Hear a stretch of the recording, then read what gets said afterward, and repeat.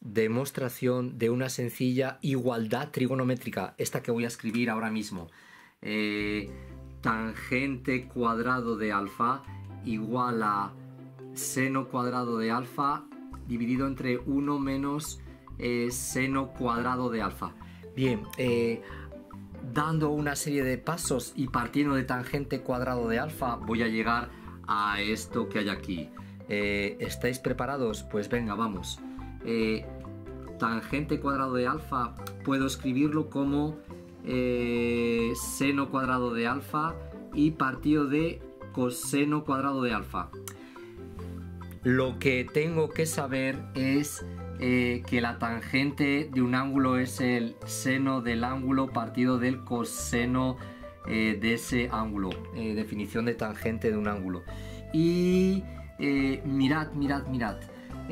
Además de esto, tengo que saber, pero saber muy bien, que coseno cuadrado de un ángulo más el seno cuadrado de un ángulo es igual a 1. Esto es fácil de mostrar eh, utilizando, por ejemplo, el teorema de Pitágoras, pero esto es otra historia. Fijaos, fijaos. Eh, coseno cuadrado de alfa, eh, coseno cuadrado de alfa y 1 menos seno cuadrado de alfa.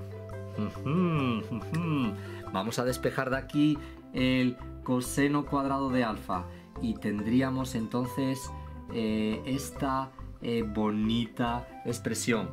Eh, así que, así que esto puede ser escrito de la siguiente manera.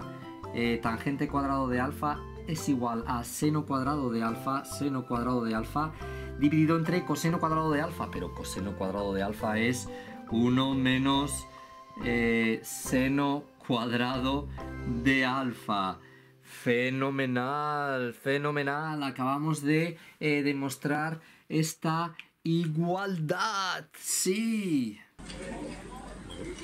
Y colorín colorado, este ejercicio se ha terminado. Eh, por favor, suscríbete a mi canal para ver más vídeos como este.